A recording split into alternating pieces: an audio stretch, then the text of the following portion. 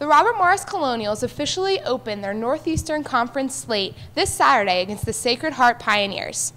Even though the loss to Dayton in their opener is still hanging upon them, the Colonials seem very optimistic.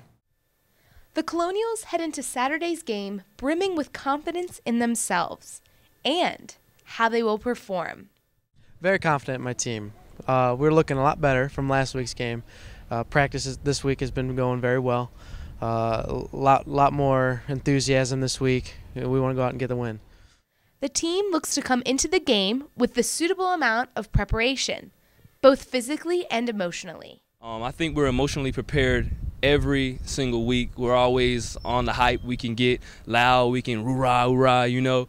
And as you probably heard a million and one times, uh, the game of football is 99% mental, you know, and 1% physical.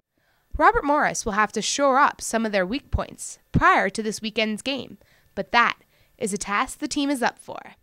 I think right now, uh, any football team early in the season, you know, weakness is going to be communication with each other on the field because it's something that you need a couple games to get into.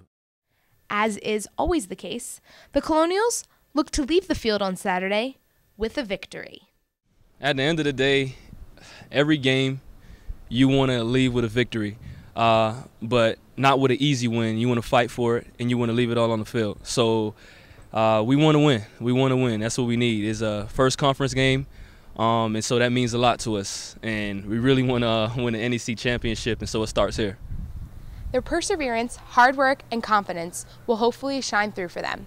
In the words of Marvin McCullough, the game of football is 99% mental and 1% physical. Jackie King, Colonial Sports Center.